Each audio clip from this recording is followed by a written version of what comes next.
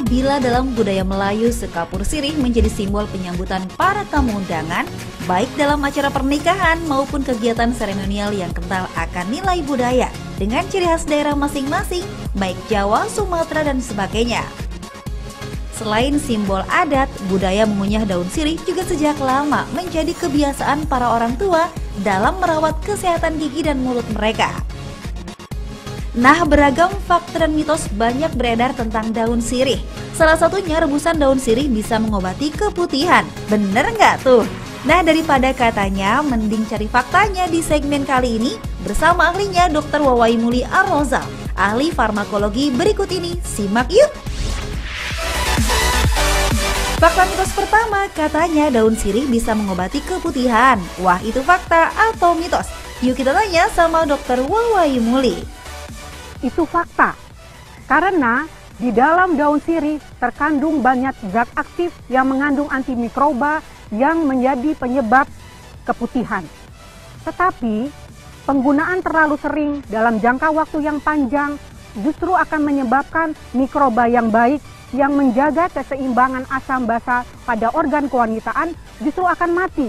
Ini akan menyebabkan masalah baru. Sehingga mungkin jamur akan tumbuh subur sehingga bila keputihan berkepanjangan, kita harus segera berkonsultasi kepada dokter dan tidak mengobati sendiri. Hati merupakan salah satu organ yang berfungsi untuk menghancurkan racun di dalam darah serta menghasilkan protein. Tingginya kadar lemak dalam tubuh dapat menyebabkan perlemakan hati dan mengganggu fungsi hati. Nah, oleh karenanya, yuk jangan malas untuk berolahraga dan mengkonsumsi makanan yang sehat. Nah, fakta atau mitos kalau daun sirih baik untuk menjaga kesehatan hati? Itu mitos. Meskipun ada uji coba, tetapi masih di dalam tingkat hewan coba. Kita tahu bahwa kesehatan hati akan terjaga bila kita melakukan gaya hidup yang sehat. Misalnya, makanan yang baik, bergizi, seimbang, hindari alkohol, hindari stres, itu cukup tanpa kita memerlukan berbagai mak. Ada lagi nih kalau katanya daun sirih merupakan obat anti kejang. Fakta atau mitos? Itu mitos. Kejang adalah suatu keadaan yang gawat darurat yang harus segera diatasi, bukan diobati sendiri. Kejang harus di, segera ditangani dengan obat anti kejang dan bukan dengan obat-obat tradisional bila anak Anda atau keluarga Anda mengalami kejang, segera hubungi dokter atau segera mendapatkan pertolongan dan yang harus diperhatikan adalah jaga saluran nafas. Jangan sampai lidah tergigit atau lidah menutup ke saluran nafas sehingga pasien tersebut tidak bisa bernafas. Pasti Anda nggak tahan ya saat berada dengan orang yang bau badan. Tahukah Anda kalau ternyata obesitas menjadi penyebab munculnya bau badan? Nah, selain menggunakan aneka produk penghilang bau badan yang ada di pasaran, Anda juga bisa loh menggunakan daun sirih sebagai bahan alami karena katanya bau badan hilang dengan menggunakan sirih. Masa sih? Yuk tanya lagi sama dokter Wawai Muli, itu fakta atau mitos? Itu mitos.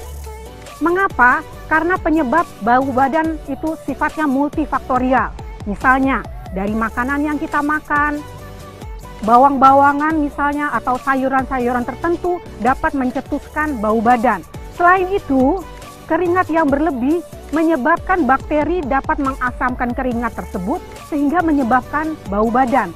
Hal lain yang menyebabkan bau badan adalah penyakit-penyakit tertentu, misalnya penyakit metabolik, penyakit diabetes, atau penyakit metabolisme yang lain. Saat sedang batuk memang gak enak. Batuk sendiri terjadi akibat adanya benda asing yang masuk ke dalam saluran pernafasan. Nah, kalau sudah batuk, jangan didiamkan. Selain mengkonsumsi obat, Anda juga bisa loh menggunakan daun sirih karena katanya daun sirih bisa mengobati batuk. Itu fakta atau mitos? Itu mitos. Tidak ada bukti baik pada hewan coba maupun pada studi pada manusia yang menjelaskan bahwa daun sirih dapat mengurangi batuk. Sebenarnya, batuk adalah suatu mekanisme fungsional mekanisme proteksi untuk mengeluarkan zat asing yang ada di saluran nafas sehingga tidak masuk ke dalam saluran pernafasan kita. Artinya misalnya debu yang masuk ke saluran nafas atau zat-zat alergen atau polusi itu harus kita keluarkan dengan mekanisme batuk. Jadi salah kalau kita sangat mengganggu.